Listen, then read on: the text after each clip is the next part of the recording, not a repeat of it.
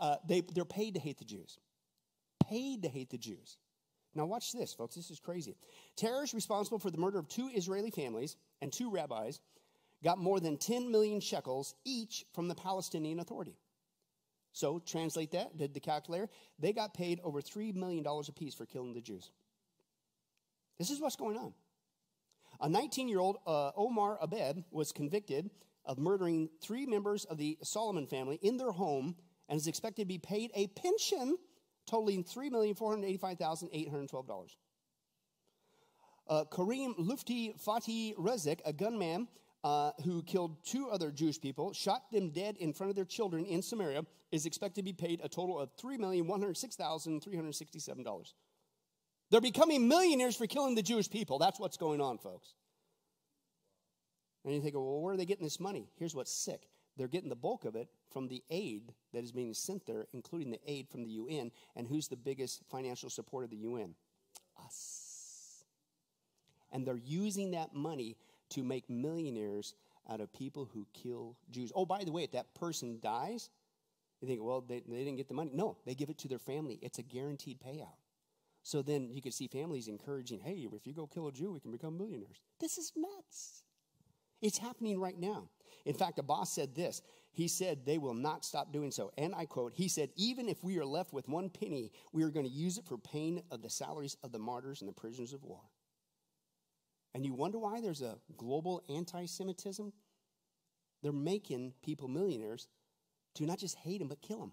The second one is, folks, people are being brainwashed to hate the Jews from wee high, from kids, right?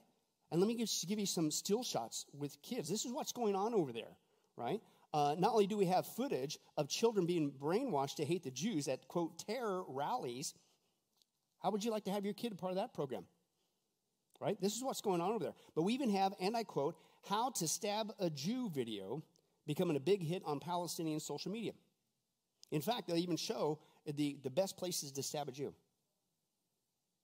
And the Jewish people, the bad people, the, this is what's going on, folks. This is crazy. Okay? In fact, it's not just in the Palestinian area, uh, again, which we saw was not a country, it's not a people, but whatever. They're the Arab refugees that were created by the Muslim communities. But in the UK, they're promoting this in their textbooks. Quote, the UK is funding textbooks that teach children to become jihadists. And is it any surprise that a Palestinian teacher was teaching Muslim kids how to perform, listen, beheadings on their toys? This is, this is what's going on here. Another video showed, and listen, a child dressed as a jihadi beheading his teddy bear. And when the teddy bear, that's the actual photo, and when the teddy bear head was successfully removed, the child lifts his knife into the air and shouts, Allah Akbar. Now, speaking of kids, how would you like to have your kids, when they finish graduating uh, kindergarten, that this is their kindergarten ceremony? Watch this. This is actually uh, released on tape.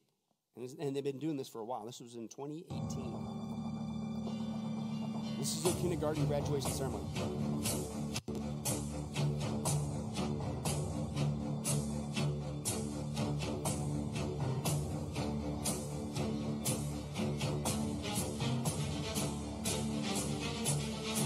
And they're going in to get the Jew.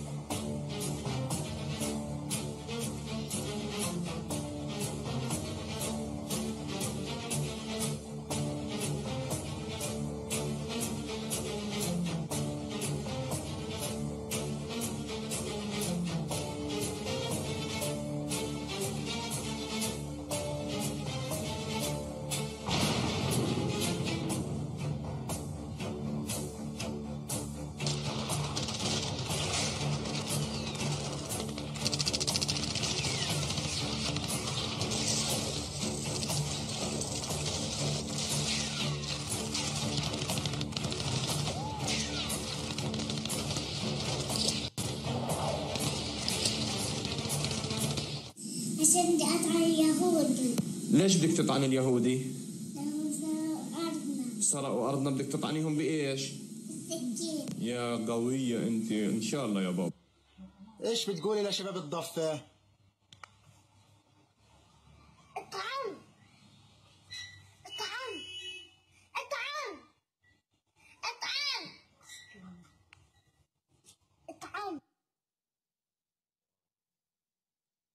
You wonder why you're seeing a rise in anti Semitism.